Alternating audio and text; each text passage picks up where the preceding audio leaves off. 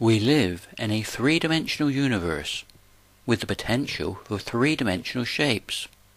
But where did the information come from for the first geometrical shape?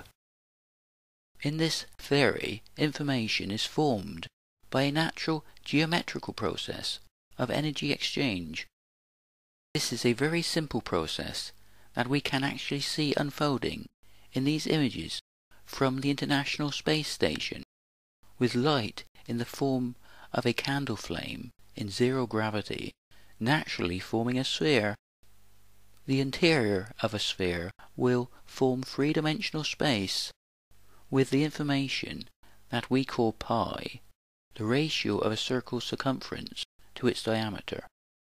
We see here that the mathematical constant pi is formed by a geometrical process. Also, the momentum of the light will always be at right angles to the surface of the sphere.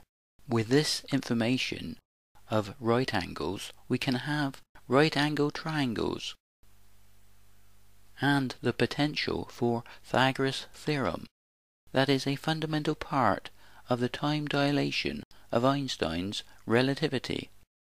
Also, because of the dynamic geometry of this process, electric and magnetic fields are always at right angles to each other. There is even more fundamental information that is formed naturally out of this process, and that is the movement of positive and negative charge. We have the convexed outer surface of the sphere forming positive charge, and the concaved inner surface of the sphere forming negative charge. Because electric charge is an innate part of all matter, whenever the atoms touch, it is charge that makes contact. And when the atoms bond and break, there is an exchange of charge. We have the organization and distribution of charge relative to the membrane of each living cell within our body. Therefore, this natural geometrical process forms the information for all physical and biological systems. But there is something else that is needed for the information that we have all around us in our everyday life, and that is randomness of what might happen. Information reduces uncertainty.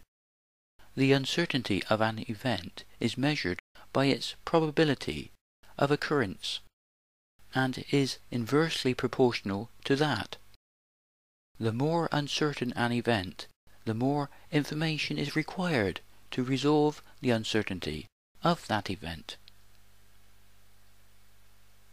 In this theory, the randomness is formed by this dynamic process because there is uncertainty of where the light wave will come in contact with an external object.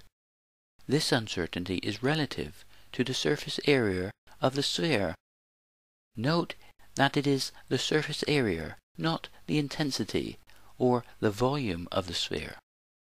This is because the two-dimensional surface of the sphere is forming a boundary condition with the information encoded by the movement of positive and negative charge.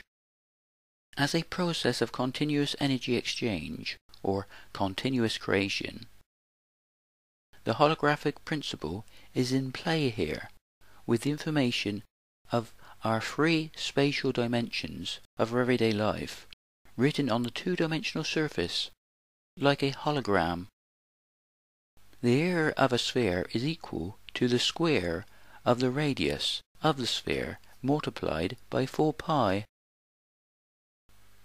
At the smallest scale of the process, this is seen as a square of probability formed by the spontaneous absorption and emission of light. Mathematically, this information is represented by the quantum wave particle function or probability function.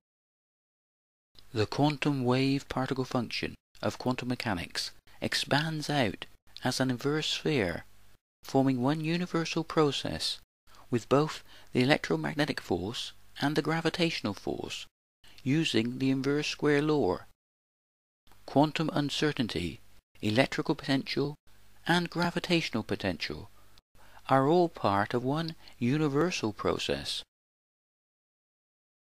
In this theory, the future is unfolding, photon by photon, with the wave-particle duality of light and matter in the form of electrons, acting like the bits or zeros and ones of a computer.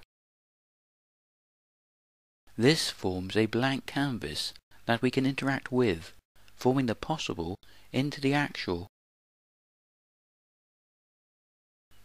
Because the information is formed by the spontaneous absorption and emission of photon energy, the process itself is spontaneous and needs no programmer. But we need life to decode the information into knowledge. But the information itself will naturally form with the laws of physics as part of a dynamic geometrical process that is formed by energy and momentum. The reason why we have such great diversity of information is that the process is relative to the complexity of the atoms of the periodic table and the different wavelengths of the electromagnetic spectrum. This is why color is based on the wavelength of light. All the information we receive by the colors of the rainbow is based on the dynamic geometry of this process. At the most fundamental level, this is a process of spherical symmetry forming and breaking, with the electron being the most spherical object in the universe. We have an infinite number of line symmetries within a sphere that in this theory represents an infinite number of potential future timelines. As part of an interactive process, this forms an infinity of possibilities and opportunities, with creation being in the hand and eye of the beholder. Thanks for watching. Please subscribe and share. It will help the promotion of this theory